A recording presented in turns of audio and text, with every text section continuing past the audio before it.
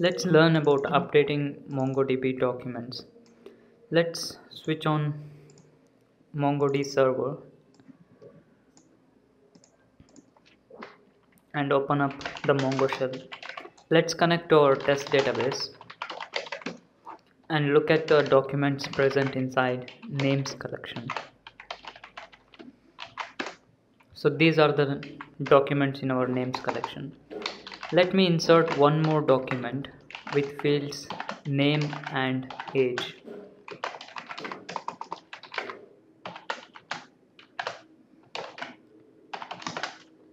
We will be doing update operation on this document.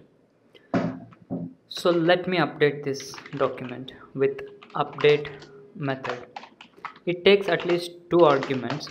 First argument being the condition in SQL it's where clause so where name is Satish. I'll update the field age from 27 to 28 well once this command is executed look at the output.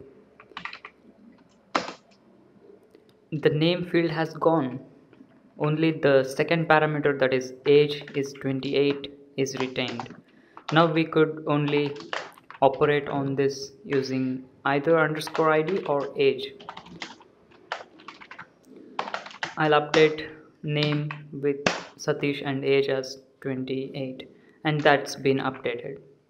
Let me show you once again. If I want to add update this document with one more field called salary I could add that in second parameter. And it would be added to the document.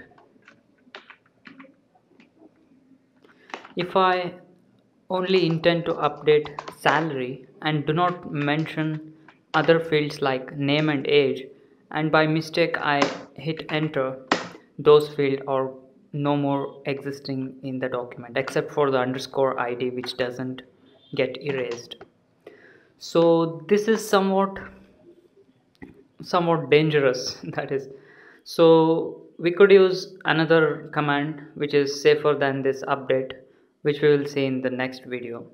Please share this video with your friends on facebook google plus linkedin stumble upon etc stay subscribed to technotip.com and to our youtube channel and don't forget to like this video on youtube